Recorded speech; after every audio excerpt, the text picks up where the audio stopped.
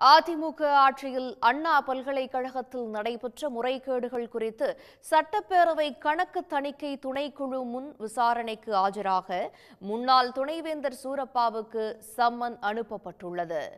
கடந்த இரண்டாயிரத்து பதினாறாம் ஆண்டு முதல் இரண்டாயிரத்து பதினேழு வரை அண்ணா பல்கலைக்கழகத்தில் மாணவர்களின் பதிவேடுகளை டிஜிட்டல் மயமாக்கியதில் பல கோடி ரூபாய் முறைகேடு நடந்திருப்பதாக புகார் எழுந்தது.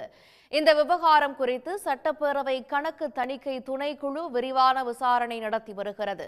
அண்ணா பல்கலைக்கழக வளாகத்தில் இன்று நடைபெற்ற விசாரணையில் இரண்டாயிரத்து பதினாறு இரண்டாயிரத்து பதினேழு காலகட்டத்தில் அண்ணா பல்கலைக்கழகத்தில் பணியாற்றிய துணைவேந்தர் ராமசாமி துணைவேந்தர் பொறுப்புக்குழு அதிகாரிகள் முன்னாள் பேராசிரியர்கள் முன்னாள் தேர்வு கட்டுப்பாட்டுத்துறை அதிகாரிகள் ஆகியோர் ஆஜராகி விளக்கமளித்தனர் அப்போது டெண்டர் விதிமுறைகள் மற்றும் துணைவேந்தர் இல்லாத போது பொறுப்புக்குழு அனுமதி வழங்கியது உள்ளிட்ட பல்வேறு முறைகேடுகள் குறித்து கேள்வி எழுப்பப்பட்டது.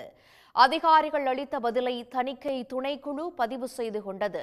மேலும் இதில் தொடர்புடைய முன்னாள் துணைவேந்தர் சூரப்பா மற்றும் பேராசிரியர்களை விசாரணைக்கு ஆஜராக அழைப்பு விடுத்துள்ளது.